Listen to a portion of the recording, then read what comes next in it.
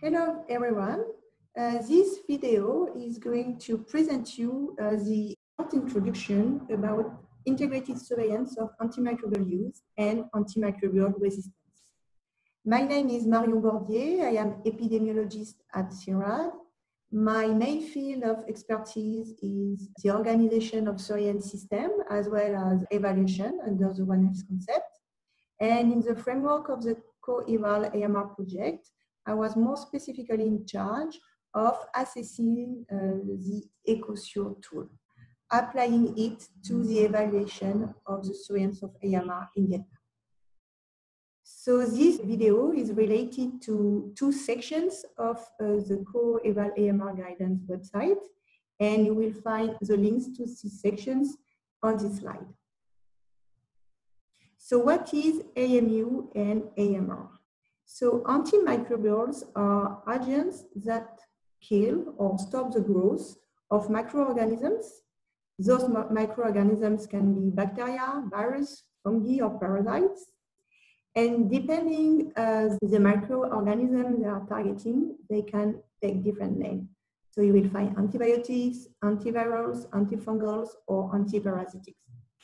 These antimicrobials can be used in humans, animals, or plants uh, with the main purpose of uh, preventing or treated infections, but they can also be used for growth promotion in animals and plants. So when we talk about antimicrobial resistance, we refer to changes that occur in microorganisms and that lead to a non-response of these microorganisms to antimicrobials, making infections more difficult to treat. So this antimicrobial resistance, it's a natural phenomenon, but it is exacerbated by the overuse or the misuse of antimicrobials. So what is AMU and AMR surveillance? So surveillance is the ongoing collection of health data in a given population or in a given food commodities in order to produce information that will support intervention aimed at reducing the related risk.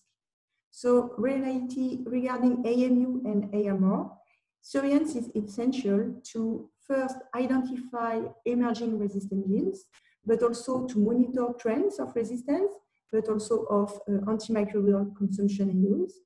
It's also very useful to better understand the epidemiology of AMR, as well as plan and evaluate policy for AMU and AMR reduction. So the addressing these AMR challenges uh, requires to um, adopt a One Health approach. One Health can be uh, defined as collaborative efforts across different sectors, disciplines, and professions to better manage uh, health hazards at the interface of three compartments, human, animal, and their environment. Tackling uh, AMR uh, requires to uh, set uh, a One Health approach because resistant microorganisms are present in the three compartments, humans, animal, and environment, and there is also a possible spread of resistant genes across those compartments. Moreover, some antimicrobials can be used in human and animal or plant. So what is integrated surveillance?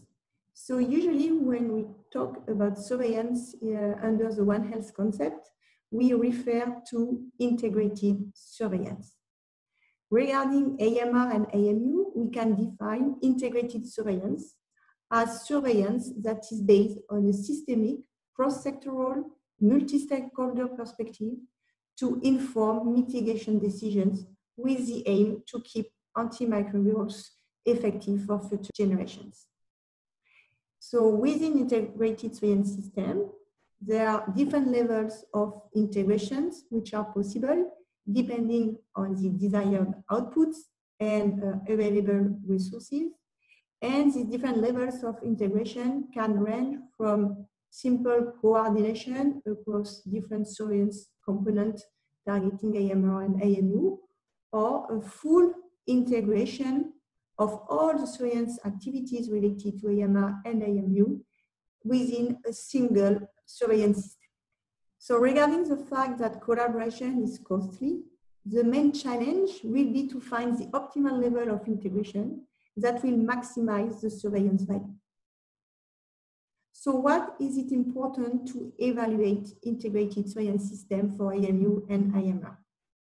Evaluation of AMU and AMR surveillance must be seen as an integral part of efforts to combat AMR because it will maximize the effectiveness and efficiency of surveillance and it, it will also help to determine if the integration level chosen is the most appropriate to produce the expected results. You can undertake evaluation with uh, different evaluation goals. For example, it can be to uh, identify the strengths, the weaknesses, the challenges and opportunities of a surveillance system in order to identify some recommendation to improve it. Or it can be also to evaluate the efficiency of the surveillance system. So this is the end of this video. Thank you very much for watching it. Please feel free uh, to visit the website for more details about these case studies and other ones.